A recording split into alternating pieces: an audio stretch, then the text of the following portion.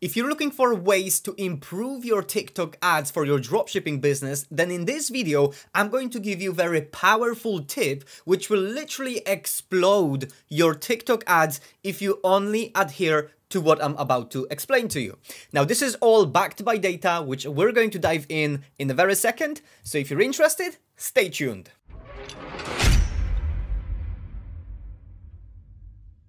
Welcome back guys and for those of you who are new here, my name's Jakub and on this YouTube channel I have been documenting my entire dropshipping journey starting from day one, showing you everything I've been through from losing a lot of money to making a lot of money to quitting because I lost a lot of money again, to then coming back to dropshipping with new energy, new mindset, and right now my business is doing very, very well, probably better than ever before. This is the store uh, or the product that we started testing somewhere at the beginning of um, December, so probably 4th of December. We're going to dive in into my reports in just a second, but I just want to show you how much in sales we have generated, and it, it is 100% thanks to the tip that I'm about to share with you. So we have generated in this store fifty-six and a half thousand dollars since 4th of December. And at the same time, I have another store which is also generating crazy profits. We started running ads and basically using this store probably at the beginning of this month. So probably, actually maybe mid of December. I can't even remember. I'm losing track of everything. Nevertheless, since we started mid-December, we have generated 15,000 euros in this store as well. This is mainly targeting European countries. So business is doing very well. Now, bear in mind that when I first started, I was literally on my own in this business. I was just learning, making a lot of mistakes. But now things took huge turn and I have actually team that is helping me to move this business forward. And I always want to be 100% transparent when I'm talking about my business, my numbers, and what it really takes to succeed with dropshipping. Because when I first got into dropshipping, I got tricked by all of the gurus here on YouTube showing that it's so easy and effortless to actually succeed. Where in reality, and probably a lot of you guys who already tried dropshipping found out that it's not as easy as they make it seem like, right? So for that reason, I always want to be 100% transparent. And what I want to say here is that even though my business is right now generating profits, both stores are profitable, me personally, I don't actually make any money of it. So you may be wondering why that is. It's simply because the profits that are being generated are being put back into the business. I'm paying for the team, I'm paying for the ads and trying to grow this business where I have full team working on the business, generating profits so that eventually in the future, hopefully, I'm going to be able to get out of the business and just take profits, which is what we all want. But for now, even though those stores are making profits, I personally don't benefit from it, um, which is fine.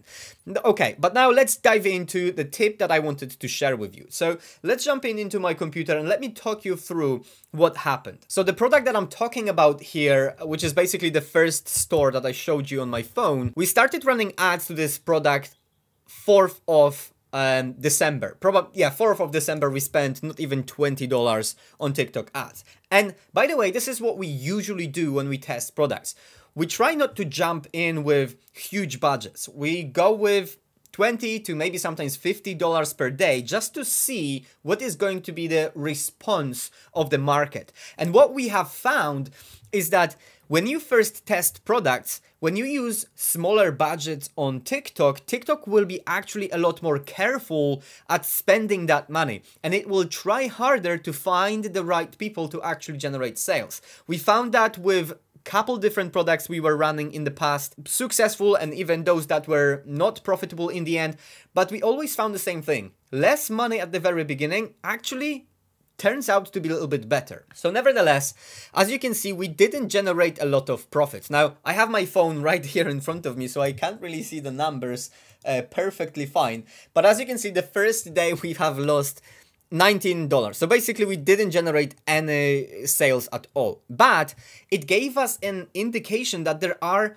people who are interested in the product because we did generate some clicks maybe click-through rate wasn't that good um you know the clicks were maybe not as cheap as we wanted them to but those people who actually landed in the store a lot of them added product to the cart or even reached checkout so that's what we are looking for at the very beginning we want to see the indicators in the tiktok analytics that this product has potential and that's what we found in this case so we decided to keep running ads for this product and the next day we spent a lot more on ads, $157. And again, I can't really see the numbers exactly, but as you can see, we generated $7 in profit. So nothing to compare to what we actually spent on ads. But again, we didn't lose money, we broke even. So that was good sign for us that again, there's still potential in this product.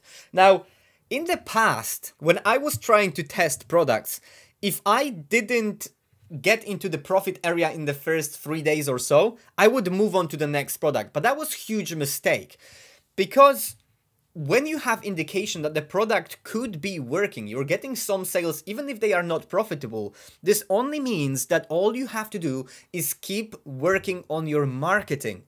Sometimes maybe pricing, offers, etc., which is exactly what we were doing in the store and in ads. But that's exactly what you want to do, so don't give up too early. At the same time, you have to be aware that if there are no indicators in your analytics that this product has potential, so maybe clicks are very expensive, like $1 clicks, you know, click-through rate way below 1%, and it just doesn't seem to, to, to do very well, then move on. But if analytics are looking good, you're not getting sales, keep working on the product. That's exactly what we did. As you can see, for the first week or so, we were not really making any money, right? We were losing a lot of money actually if you take a look $66 lost here 79 here um $2 here but then $18 here. Now as you can see we were trying to figure out what will make the right people to stop scrolling because that's important as well. You want to get the right people to stop scrolling, not just any people, right? So we had to figure out what will be this scroll stopper and that's why we kept spending money and losing money, but we knew that if we find this right scroll stopper, it's going to change everything. And it's exactly what happened because as you can see, Couple days later, maybe a week or so later, we finally found this perfect scroll stopper that made the right people to stop scrolling and pay attention to the rest of the ad. And as you can see, as soon as we did that, the first day profits jumped to almost $100 in one day. Not huge, but good sign. And then the next day, it just completely exploded. $500, $546, $886 in profit, and it just kept going. In this probably week, maybe, after finding the right scroll stopper, we generated over $3,300 in pure profit. So made much more money back than what we lost at the beginning stages of trying to figure out the right ad strategy, ad scroll stopper and everything else. So pay attention to your analytics and when you see that there is potential in the product people are adding it to cart people are going to the checkout and there is some action going on most likely it's your ad that needs to get attention of the right people. When you find that it's going to change your business. Now unfortunately i can't tell you what that is because you can't know. It's testing that will help you to find out what that is. Now since we found this one format of scroll stopper, if you like. We then went ahead and kept researching videos trying to find different scroll stoppers, so different first three seconds of the videos that are similar to the first one that worked well, and we just recreated bunch of different ads, and as you can see for the rest of the month, we just kept making crazy profits, even $1,100 in profits in one day right here. Very, very good profits. Now, it is all because we didn't stop and we kept trying to find what will make the right people to stop scrolling. So the next time you're going to be testing your products, don't just wing it with your video ads. Don't just try to use other people video ads or completely use the same structure as other of your competitors are using. Try to think of something on your own. Try to be creative. And the questions you should ask yourself before you start creating those videos is who I want to sell this product to. Who is my target audience? If you're selling weight loss products to, I don't know, women over 40, what could be the first three seconds of the video that will get them to stop scrolling? Not teenagers, not young people, not men, but specifically women over 40. And if you dive in even deeper, maybe that's woman over 40 who have kids, now you have even better idea of what first three seconds of the video could make them stop scrolling, right? So just go outside of the box here, keep trying to find good formula for your ads to get the right people to, to stop scrolling. And this is going to be literally 90% of your success. Now, obviously, you still have to have a winning product, you still have to have a store, the right pricing, and everything else. But once you have that nailed down, and it's actually not that hard, you just need to look at what other people are selling and what other competitors are doing. Take that product and then try to think of how you can create better ads than them. That's exactly what we did and it worked out absolutely amazing. So hopefully you found this video valuable. Hopefully this will give you more motivation to spend extra time when creating your ads and researching what would work well for your potential audience.